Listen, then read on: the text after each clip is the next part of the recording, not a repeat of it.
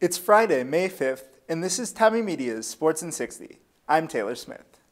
The third seeded St. Thomas men's tennis team beat second seeded Carleton 5 4 Thursday in the MIAC tournament semifinals to advance to Saturday's championship at Gustavus. It is the first time in 13 years that the team has reached the title game. Top seeded softball opens MIAC tournament play today against St. Ben's at 2:30 p.m. at South Field.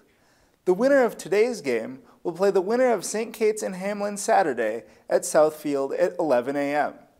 The Tommies swept the Bennies in a doubleheader on April 23rd, 8-4 and 5-0. Check TommieMedia for weekend coverage. The baseball team looks to clinch the MIAC regular season title and the top seed in next week's MIAC tournament in a doubleheader at Gustavus Saturday at 1 p.m. The Tommies would claim the title outright with a pair of wins. For TommieMedia, I'm Taylor Smith. Yay!